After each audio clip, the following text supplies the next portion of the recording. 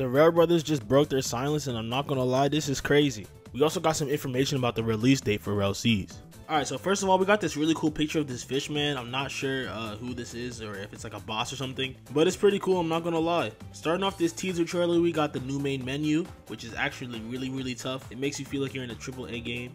We've seen this cutscene before and I made a video about this talking about Conqueror's Haki, so if y'all haven't seen that, go check it out. We've seen the character customization, and as we can see here, we have different game modes like Battlegrounds, Ranked, and Crew Battles, which is crazy that they're having all three of these junks in one game. We got the character slots that are most likely free, and new character UI. So at the bottom here, if you look really closely, when the character turns around, we can kind of see things changing. This kind of reminds me of games like God of War and, uh, you know, games where you have some sort of quest or story mission you have to do and when you look around it kind of directs you to where you have to go. Usually that's only for games where the map is extremely large and it's going to be a little tough to get around without using a map. So maybe this means that the Rell Seas map is going to be extremely large and like really huge. Also if you look closely in the inventory storage thing right here, we see a bunch of fruits in here. Now this lightning thing here is most likely going to be uh, the electric fighting style. Now at first I thought it was Goro but look to the right we can see Goro is right there and it matches the initial design for the Goro fruit. Now this could be something else but I'm pretty sure it's the electric fighting style and as we can see it has a different type of thing around it. The fruits have a lighter color around them,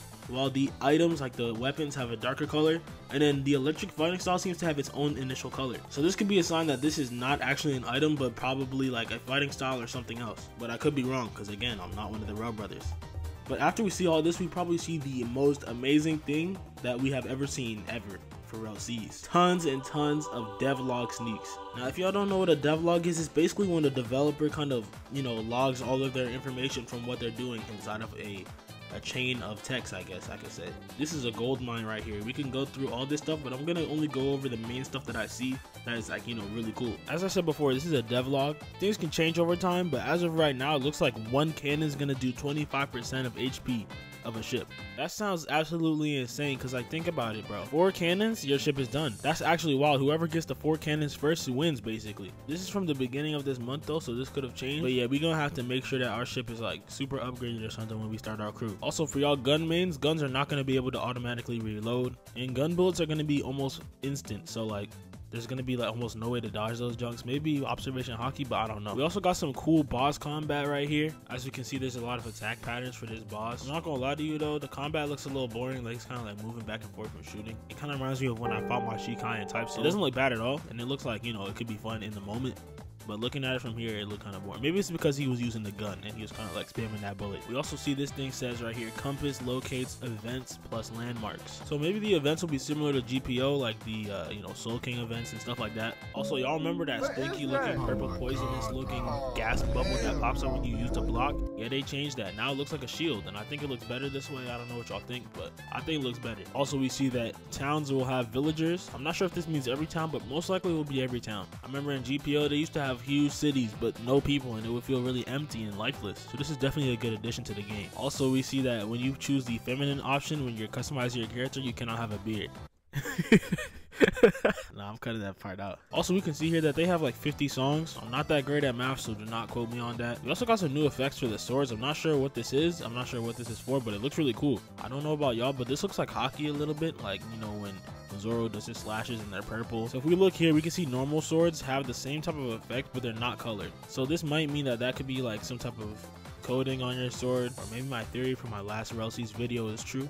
But again, this is all a theory.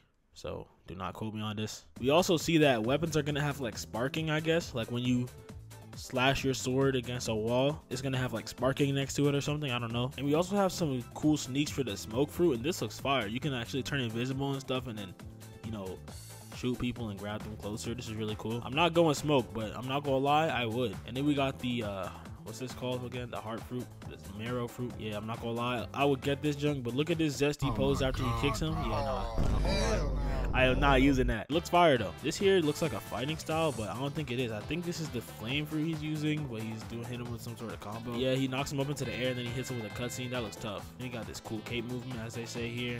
Cool capes. Now, I could be wrong about what I said earlier. Looking at this, you know, uh, sword sneak. It's possible that the effects from before were just, you know, the fact that he had a fruit equipped with his sword. It's kind of like Arcane Odyssey, you know, like the Conjurer build where you kind of like, you can use your fruit and also use your sword. But, you know, the sword is coated with magic.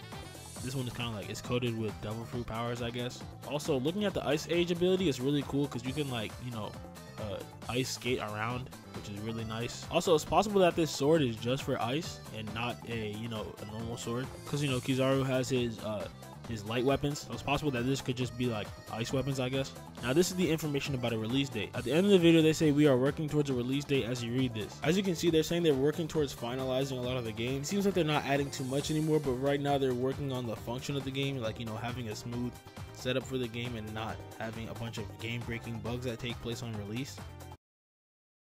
So it really seems like they're preparing for release right now. I don't know if y'all remember, but around two months ago, they said the game is about 60 to 70% complete. And now looking at this, we can kind of assume that the game is even closer to being finished. Also, the video is called Final Teaser Trailer, so this could mean that we're not seeing anything else. Again, I'm not a developer for this game, but I'm thinking the game might drop like, I don't know, maybe sometime during the summer. I mean, this gen could drop in the winter, it could drop next year, I have no idea. All I know is that they're finalizing the game and working towards things other than just combat and PvP. So yeah, they're working towards a release date. Please don't go around saying Pedro knows what the release date for Rell Seas is, because I don't. I don't even think the developers know because it says they're working towards a release date. Yeah, I hope y'all enjoyed the video. That's pretty much it. Uh, if y'all want to see my other Rell Seas video where I talked about the theory about, you know, having Conqueror's haki coding, y'all can go check that out. And yeah, I'm going to see y'all in the next one.